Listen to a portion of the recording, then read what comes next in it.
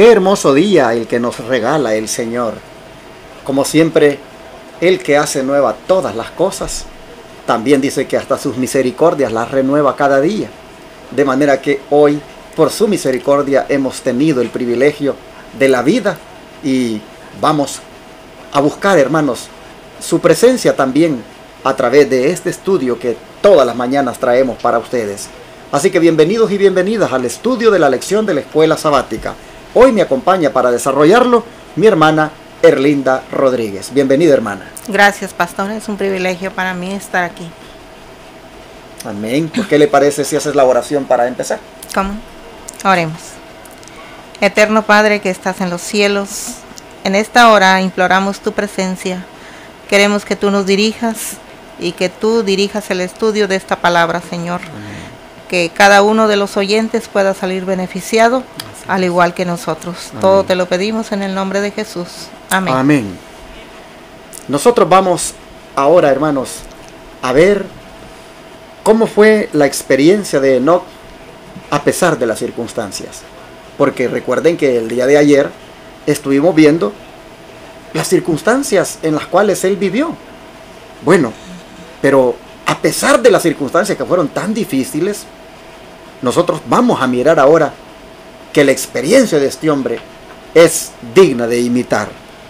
Comencemos, hermana Erlinda, viendo cómo la palabra de Dios describe a este siervo del Señor durante los primeros 65 años de su vida.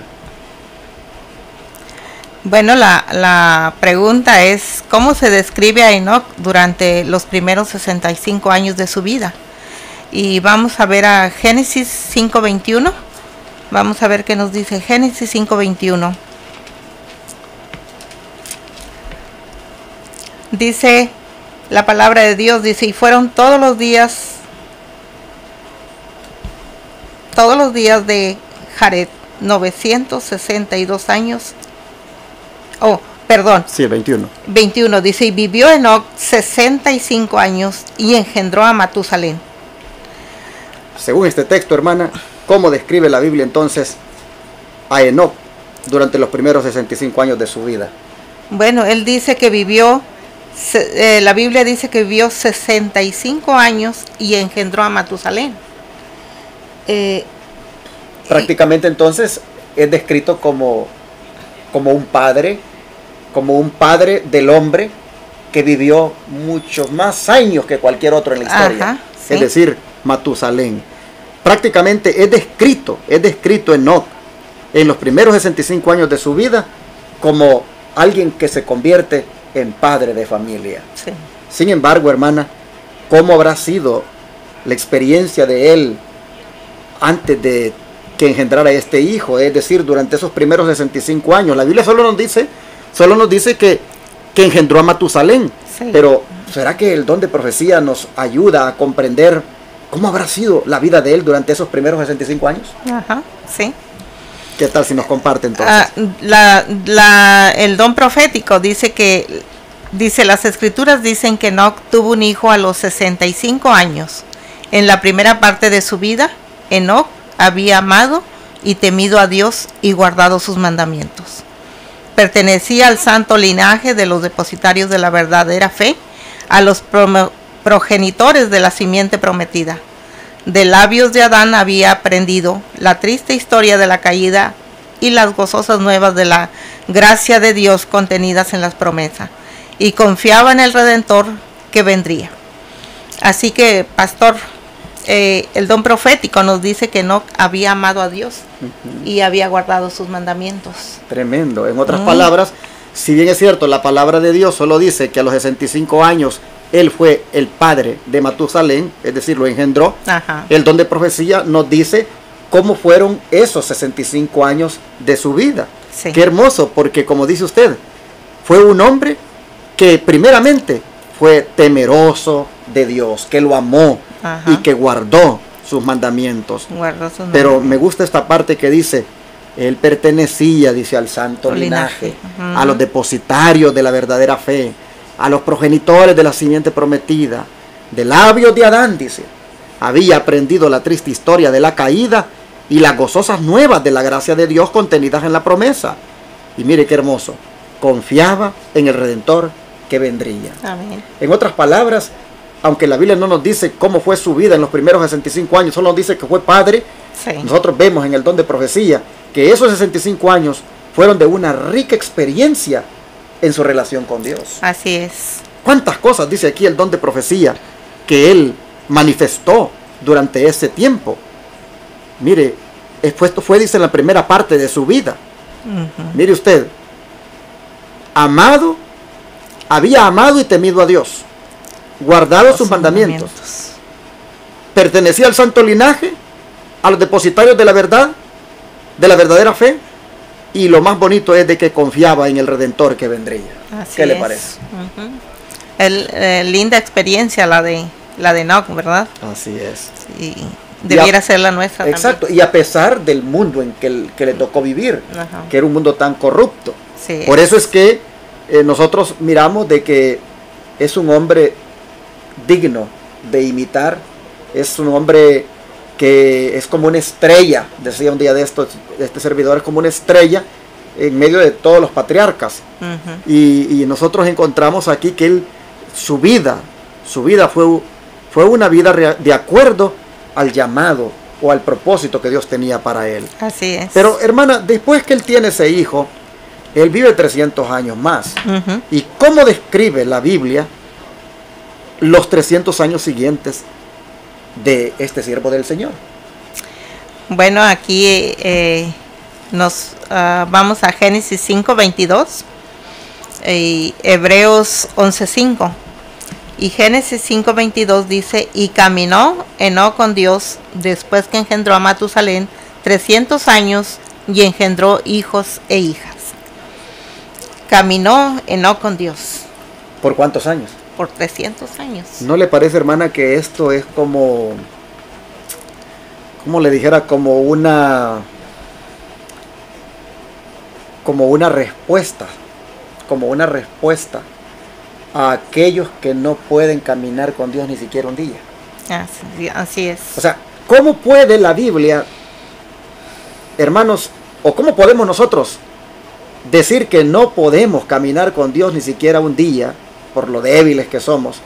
Cuando aquí tenemos un hombre que caminó por 300 días, 300 años, perdón. 300 años. O sea, la, el- lo que dice la Biblia, que caminó por 300 años, nos dice, hermanos, de que el no poder nosotros caminar con Dios ni siquiera un día, nos dice que eso simplemente es una excusa, porque se puede caminar con Dios todo el tiempo. Así pues es. aquí tenemos a un siervo que la Biblia registra que caminó, dice, después que engendró a su hijo, 300 años. Así es. Imagínese usted durante 300 años, hermana, estudiando la Biblia, orando. eh, imagínese, vamos a traerlo a nuestro tiempo, yendo a la iglesia, eh, siempre estando con el Señor todo el tiempo, sirviéndole. 300 años. Y a veces nosotros, tristemente, hermana, a veces una semanita tal vez caminamos con Dios bien bonito estudiando la Biblia y la siguiente semana ya ni nos acordamos de la palabra de Dios. Así es. O a veces tristemente eh, un mes es el que pues pasamos bien allí de cerca con el Señor y luego ya otra vez nos volvemos a desconectar.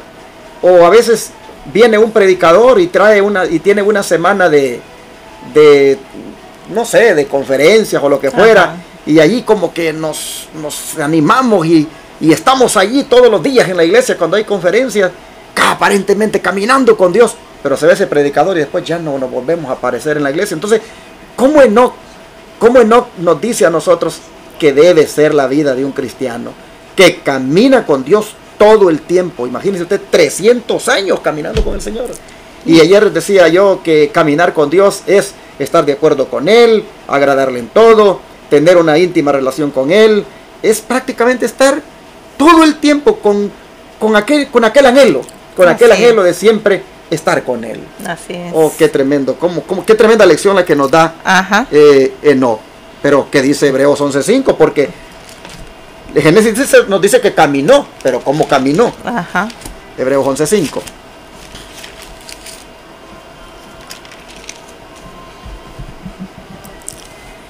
Hebreos 11:5 dice, por fe, Abel ofreció a Dios más excelente sacrificio que Caín, por lo cual alcanzó oh, cua- 11:5, Sí, ¿verdad? sí. Perdón. Dice, por fe Enoch fue traspuesto para no ver muerte y no fue hallado porque lo, traspaso- lo traspuso Dios. Y antes que fuese traspuesto, tuvo testimonio de haber agradado a Dios. O sea, ¿cuántos años pasó Enoch viviendo de esta manera? 300. 300. Pero ¿cómo fue su vida durante esos 300 años? ¿Cómo dice que caminó con Dios? Por fe, dice. Número uno, por fe. Y número dos, dando testimonio, Dando testimonio de que agradaba a Dios. a Dios. Imagínese usted. Imagínese usted, yo tengo 30 años de ser cristiano. Y todavía no puedo decir de qué he caminado de esta manera. Pero, ¿qué sería de nosotros? Que sean 20, 30, 40, no sé, los que Dios quiera que estemos en sus caminos. Pero, ¿qué sería de nosotros, hermana, si camináramos como Enoch? Bueno, pues Y, y se puede hacer. sí, Se puede hacer porque él, él lo hizo y era como nosotros y vivía en un mundo corrupto como el de nosotros. Y sin embargo, mire, por 300 años caminó por fe, Dando testimonio de que agradaba a, A Dios. Dios. Ah, hermana, qué bonito sería de que nuestros vecinos, ¿verdad?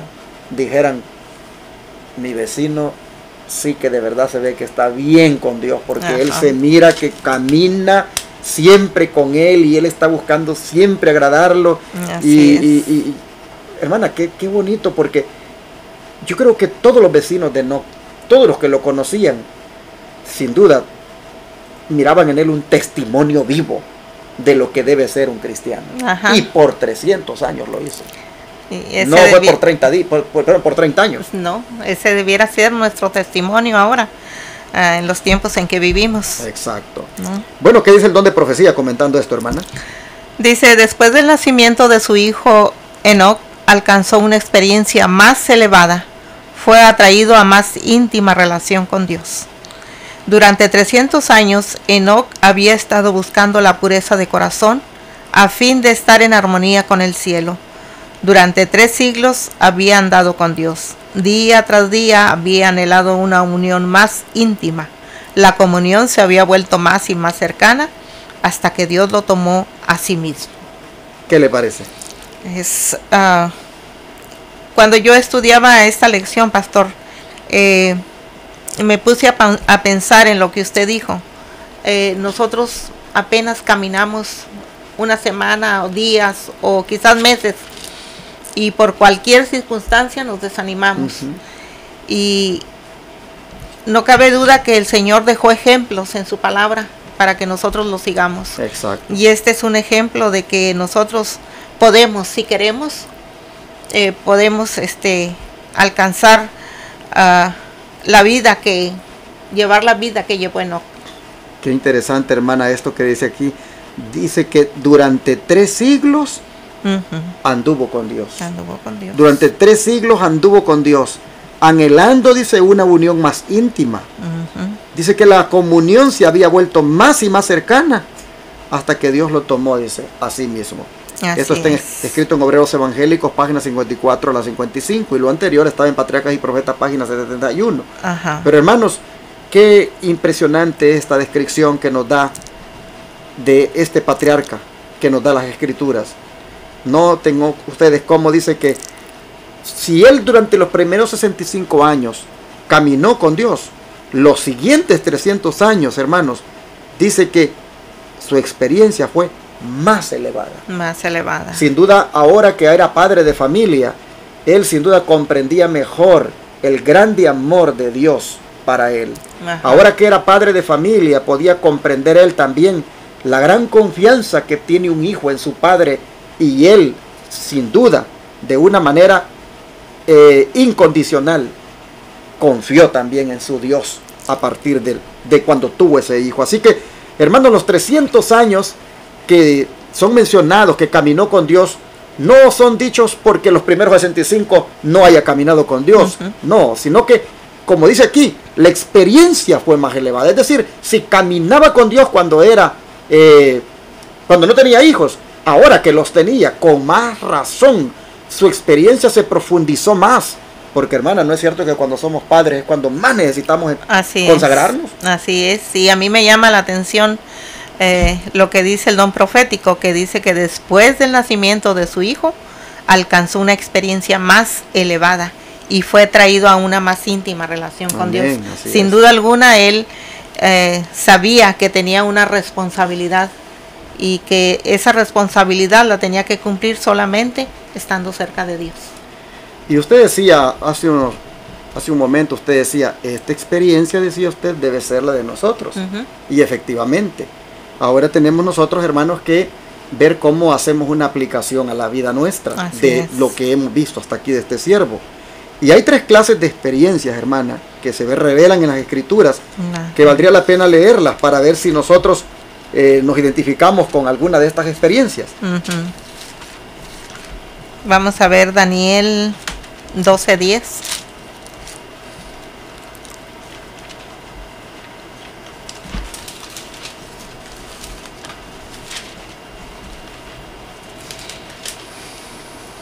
¿Qué dice Daniel? Daniel 12? 12:10 dice, muchos serán limpios y emblanquecidos y purificados, mas los impíos obrarán impíamente y ninguno de los impíos entenderá, entenderá pero entenderán los entendidos.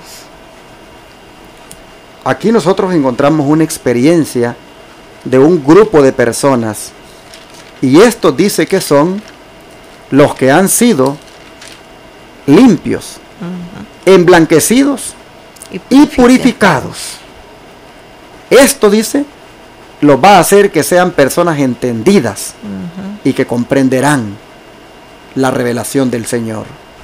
Así que nosotros tenemos aquí a este grupo de purificados, limpios y también de emblanquecidos. Así es. ¿Qué significa esto? Que tenemos aquí personas que han sido lavados en la sangre del cordero. Así es. Estos purificados, limpios y emblanquecidos, dice que van a tener el privilegio de ser de los entendidos en el tiempo que estamos viviendo. tiempo al fin. Bueno, nosotros encontramos aquí este grupo o, que tienen esa experiencia de, de haber sido emblanquecidos, de haber sido purificados, de haber sido eh, limpiados. Pero veamos otra experiencia, y es la que se encuentra en Mateo 7, 21 al 23. Mateo 7, 21 al 23. Sí.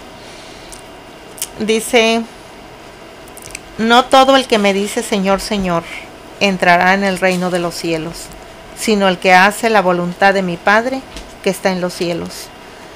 Muchos me dirán en aquel día, Señor, Señor, no profetizamos en tu nombre y en tu nombre echamos demonios fuera y en tu nombre hicimos muchos milagros. Entonces les protestaré, nunca os conocí, apartaos de mí, obradores de maldad. Ok, en el primer grupo, nosotros vimos que son los que han pasado por la experiencia de ser purificados, emblanquecidos y Ajá. limpiados. En este segundo grupo, nosotros vemos que son los que por experiencia son, dice, los que los que hacen la voluntad de Dios. Porque dice, no todo el que me dice Señor, Señor, Entrará entrará, en el reino de los cielos, sino el que hace la voluntad de mi Padre Que está que en está en los los cielos. cielos. Así que nosotros tenemos aquí a un grupo de personas que no solo se ha quedado con el ser justificado, purificado y emblanquecido, sino que ahora hacen la voluntad de Dios. No solo dicen Señor, Señor, sino que dice que ellos hacen la, voluntad. de Dios. Es decir, son obedientes. Así. Una vez que ha sido purificado, emblanquecido y, y limpio, ahora la persona lo menos que puede hacer es obedecer a ese que le ha limpiado, purificado y emblanquecido, Ajá. porque le ha limpiado del pecado. Así que nosotros tenemos aquí la experiencia de dos grupos. Ajá. Ahora vamos a mirar la tercera experiencia, y es la que está en Hebreos 12, 14.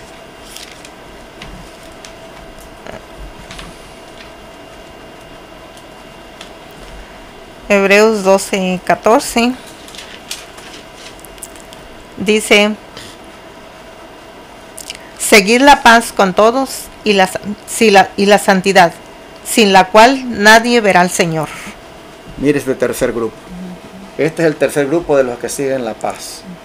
Este es el tercer grupo de los que prácticamente están en paz con Dios. Si usted mira, primero son purificados, emblanquecidos Sí.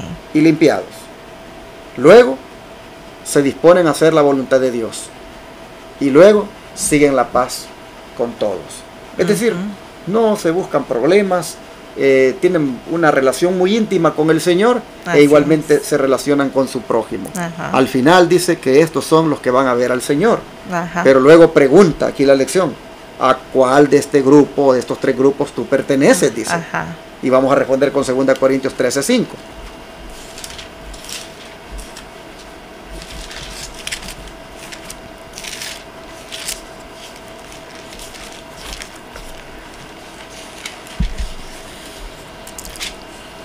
Segunda de Corintios 13:5 um, dice, examinaos a vosotros mismos si estáis en la fe, probaos a vosotros mismos. ¿No os conocéis a vosotros mismos que Jesucristo está en vosotros a menos que seáis reprobados? ¿Qué le parece? Si yo deseo estar en uno de los tres grupos, o si quiero saber si estoy o no estoy allí, lo que toca que hacer, ¿qué es según este texto? Examinarnos a nosotros mismos. ¿Qué significará eso, hermana? Pues tengo que examinar mi vida, cómo estoy con Dios. Cuál es la relación que yo tengo con Dios. Eh, porque si no estoy caminando conforme eh, Dios quiere que lo haga, pues no estoy haciendo lo correcto. Lo primero, hermanos, que nosotros debemos hacer es ver si ya fui purificado, limpiado y emblanquecido. Número uno. Si no lo estoy, debo rendir mi vida a Cristo. Así es. Para que Él me limpie, para que Él me haga blanco, mi vida, pa- para que Él me, me- me purifique. Lo primero. Segundo, si ya fui purificado, emblanquecido y lavado en la sangre de Jesús, porque ya lo acepté como mi Salvador, debo ahora examinarme si estoy haciendo su voluntad, si estoy obedeciéndole, si estoy no solamente diciendo Señor, Señor, sino que hago lo que Él dice. Así es. Y luego, hermanos, debo, al examinarme a mí mismo, debo ver cómo estoy en mi relación con los demás, eh, cómo estoy en mi manera de relacionarme con mi prójimo. Porque, hermanos, si estoy en las primeras dos experiencias y luego en esta otra, entonces dice que veré al Señor. Porque Ajá. dice que seguid la paz con todos, dice. Ajá. Seguid la paz con todos. Y luego, vamos a ver qué dice el texto otra vez, hermanas, si lo lee de 13.5. 13.5 dice, examinaos a vosotros mismos si estáis en la fe, probaos a vosotros mismos. No os conocéis a vosotros mismos que Jesucristo está en vosotros, a menos que seáis reprobados. A menos que seáis reprobados, dice. Y pues creo yo de que en la medida en que estemos con lo que dije, de las dos, en los dos grupos, no, no vamos a estar reprobados. Ajá. Bueno, después de haber mirado entonces de que eh, tenemos que experimentar esto, porque sin duda, no, sin duda Enoch, hermana, experimentó estas cosas. Sí. Ahora veamos lo que dice el espíritu de profecía al respecto. Dice, hay muchos que están rodeados por nubes de oscuridad. Tratan de hacer algo por sí mismos, alguna obra grande o buena que les ganará el favor de Dios y los hará felices. Sin embargo, descuidan precisamente la obra que deben hacer, pero la senda de la felicidad es la senda de la obediencia. Nosotros no debemos en ningún caso cegarnos ante nuestra verdadera condición y orar de una manera indolente e imprecisa. Dice el apóstol, examinaos a vosotros mismos si estáis en fe, probaos a vosotros mismos, examinad el carácter de vuestros pensamientos, propósitos, temperamento, palabras y hechos. Comparad vuestra experiencia con las declaraciones de la Sagrada Escritura y ved si estáis recogiendo con Cristo o desparramando. Ved si vuestra vida testifica que estáis en la fe. Señales de los tiempos el 15 de mayo de 1884. Bueno, el don de profecía insiste en esto de examinarnos a nosotros mismos Así es. y dice de que allí nosotros vamos a ver si estamos en la fe. Dice que examinemos el carácter de nosotros. Dice que examinemos los pensamientos, los propósitos, los temperamento, temperamentos, las palabras, las obras. Y comparemos, dice, comparemos la experiencia, esta que podamos tener ahora con la Sagrada Escritura y mirar si estamos recogiendo o estamos desparramando. Así es. Bueno, que Dios nos ayude, hermana, para que nuestra experiencia sea como la de Enoch, que recoge y no desparrama. Es decir, una experiencia rica en Jesús, Así una es. experiencia donde nosotros no estamos eh, con las tinieblas en nosotros, sino que saliendo adelante hemos ganado las tinieblas por el favor de Dios. Así dice, dice que la senda de la, de la felicidad es la senda de la obediencia. Exactamente. Así que pues ojalá que nosotros podamos vivir con la ayuda de Dios esa vida. Amén. Pues bueno, hermanos, vamos a darle gracias al Señor por esta lección y a ponernos en sus manos para pedirle que hoy en este día experimentemos la, la clase de vida o que sea la experiencia de no nuestra experiencia también. Amén. Oremos.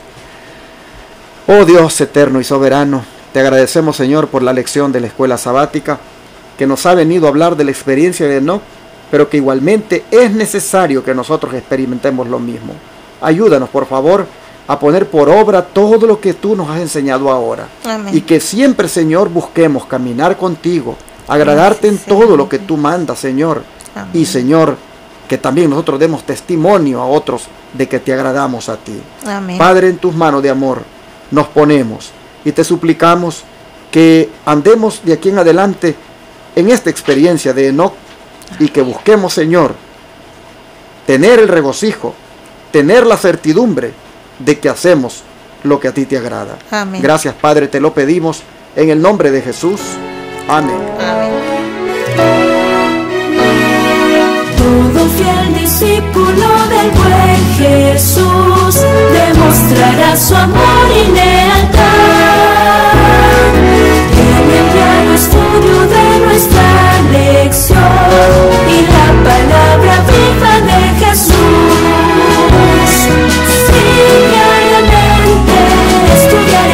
You.